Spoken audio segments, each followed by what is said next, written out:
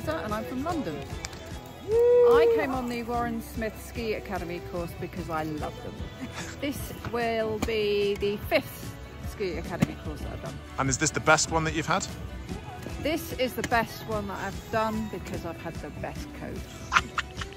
Yeah! Hi, I'm Jane from London. And this is Danny from Frankfurt. I have had a brilliant time in Verbier with the Warren Smith Ski Academy.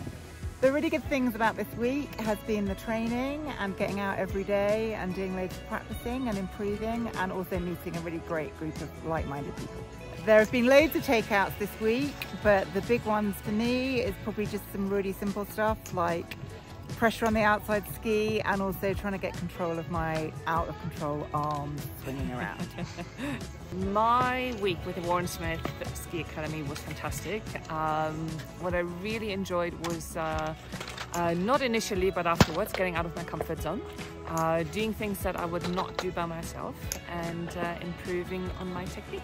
I would be really looking forward to do another week with the Warren Smith Ski Academy.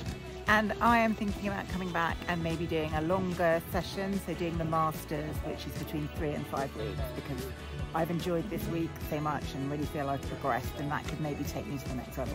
Hi, I'm Kate, I'm from London. I chose to come on the Warren Smith uh, Ski Academy because I was actually recommended by a friend who said that they will make sure your technique really improves over the week and that's what I wanted.